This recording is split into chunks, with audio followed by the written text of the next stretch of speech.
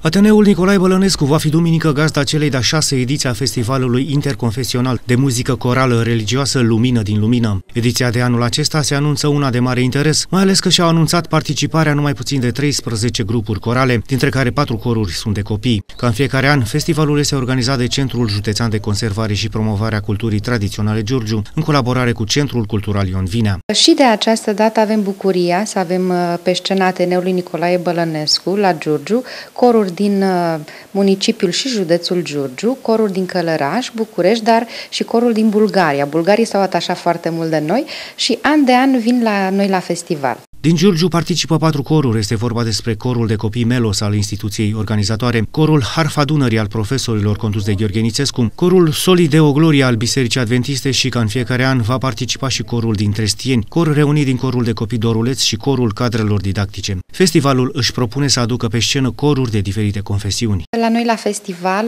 vin coruri de diferite confesiuni și avem coruri ale Bisericii Ortodoxe, coruri catolice, coruri adventiste, baptiste, dar și coruri care uh, nu sunt afiliate unor biserici și care au în repertoriu prelucrări corale religioase. Invitația pentru duminică ora 17 este una pentru toți giurgiuvenii care îndrăgesc muzica de acest fel. Intrarea în sala de la Ateneul Nicolae Bălănescu este liberă.